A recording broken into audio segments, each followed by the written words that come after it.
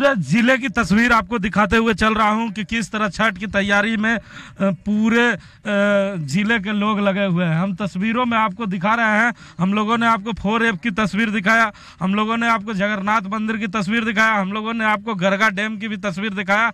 लेकिन अब हम लोग, बोकारो ज़िले के दीवानगंज के इजरी नदी के ठीक सामने है। आप देख ले, दीवानगंज के पास हूँ इस समय, और इजरी नदी पर खड़ा हूँ। लेकिन मैं आपको बताऊँ कि बहुत ही दुख होता है जब इन नदियों के बीचों बीच आने का मौका मिलता है कि छठ व्रती जिसके इतनी मान्यताएँ हैं जिस पर्व की, उसकी तैयारी को लेकर कोई भी व्यवस्था न जिला प्रशासन की ओर से इधर की जाती है, ना यहाँ के स्थानीय नेताओं के द्वारा की जाती है। दूर दूर से लोग आते हैं। मैं आपको बताऊँ कि इस नदी में अभी पानी बहुत ही कम है, लेकिन यहाँ पर दूर दूर से लोग आते हैं। मैं आपको बताऊँ कि चास से चलकर तमाम युवा यहाँ पर आए हुए हैं, इनसे जानते हैं। चास से क्यों यहाँ पर आते हैं? इतनी दूर क्यों आते हैं?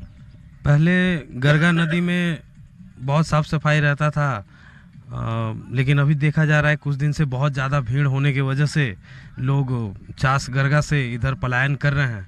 इधर अभी साफ़ सफ़ाई भी रहता है और वातावरण भी इधर का अच्छा रहता है। साफ़ सफ़ाई तो देख रहा है लेकिन यहाँ इजरी नदी में तो पानी ही नहीं है तो कैसे करेंगे?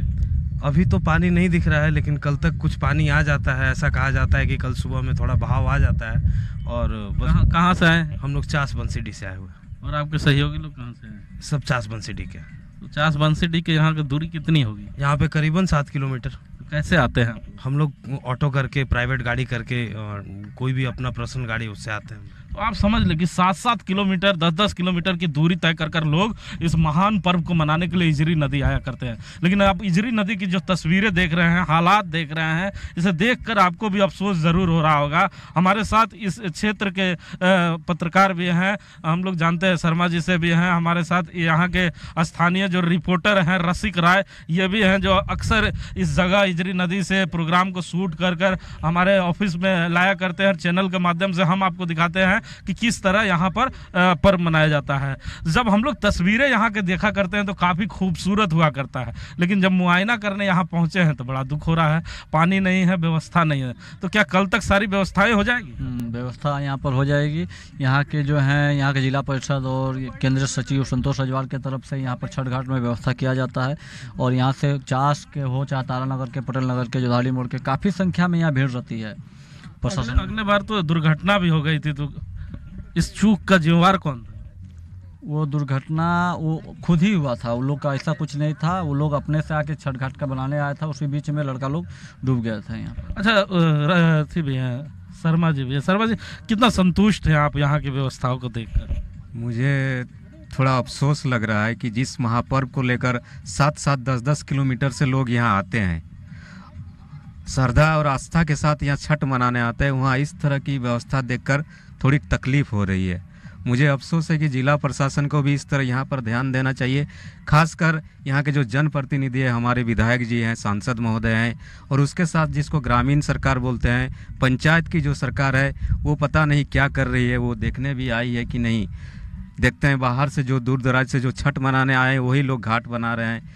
अफसोस हो रहा है मुझे। मतलब अफसोस हो रहा है। लेकिन इस प्रोग्राम में लगातार हमारे साथ हमारे साथ कांग्रेस नेता और बोकारो विकास फोरम के अध्यक्ष अनिल सिंह भी हमारे साथ हैं। लगातार हम लोगों ने आपको कई घाटों का दौरा कराया, दिखाया भी, आप भी देख रहे हैं। तो कितना संतुष्ट हैं आप आज? देखिए, सबसे बड़ी बात यह है कि बोकारो ज़िले में एक तरफ़ लोग कहते हैं कि लोकप्रिय सांसद पशुपतिनाथ सिंह जी हैं और सबसे ज़्यादा वोट झारखंड से बोकारो विधायक जीते हैं। और दूसरी बात है कि चंदन कियारी से यहाँ के जो हैं, मंत्री अमर बावरी जी हैं, जिनका विभाग भी शायद यही है, सौंदीकरण और ये यही सब जो विभाग है। और हमें लगता है कि ये सब नेता फेसबुकिया हैं और इनके कार्यकर्ता भी फेसबुकिया हैं। ठीक है? फेसबुक में फ़ोटो डालना दिन भर और उनकी सस्ती लोकप्रियता हासिल दिलाना। तो माफ़ नहीं करेंगे।